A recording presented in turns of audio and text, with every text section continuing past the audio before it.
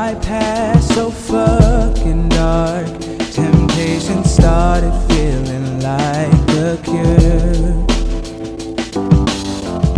The pain deep down inside made everything in my world such a blur. And every right felt wrong, and every wrong thing felt